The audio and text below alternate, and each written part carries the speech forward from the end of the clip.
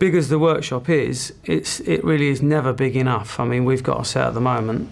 Afterlife is absolutely enormous. I think it's some of the bigger flats are as much as 10 metres tall, and they go full full across the width of the uh, Lyttelton stage, which is about 15 metres.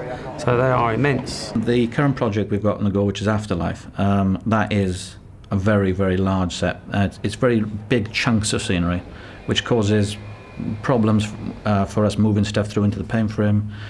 They're so big, as we build them, it just fills up the workshop, and then the paint frame have the same problem. They've got nowhere to work.